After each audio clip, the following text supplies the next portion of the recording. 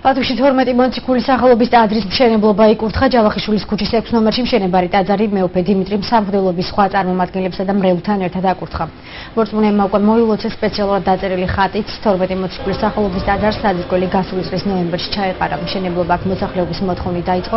მათ თხოვნით რეგიონის საპატრიარქოსაც მიმართეს, რის შემდეგაც მშენებლობისთვის ტერიტორია ბათუმის მერიამ გამოყო.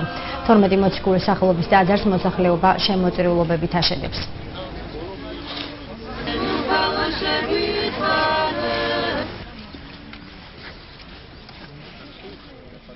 პირველი ტაძარი რომელიც საქართველოსში აშენდა სვეტიცხოველი განშტოებულობაში გახდა 12 მოციქულის სახელზე ასე რომ ჩვენმა წინაპრებმა ასე მნიშვნელოვანი მიზანი მართულად ააგეს ეს ტაძარი 12 მოციქული მადლი და მათი მოსაკუთრება იყოს მეოხი და მფარველი ჩვენი ქვეყნისა.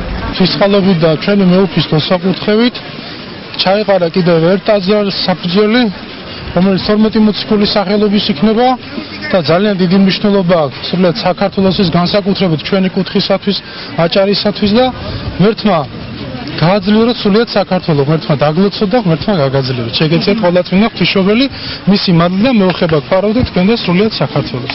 მოსახლეობის იდეა იყო ეს. ჩვენ წერილით მივმართეთ საპატრიარქოს ვთხოვეთ მამა ანდრიას რომ ეხემძღვანელა ჩვენთვის.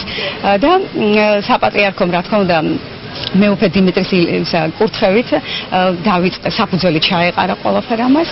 ნოემბრის თვიდან პარაკლისები ტარდება ყველა კვირა სტარტებოდა 4 საათზე. მოსახლეობა აქტიურად მონაწილეობდა მოდიოდა პარაკლისზე